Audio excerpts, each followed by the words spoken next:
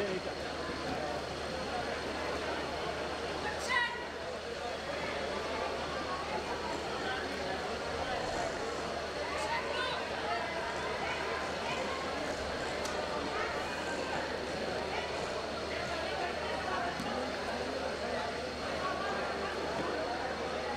कुश्ती के बाद आपका काफ़ी रहेगी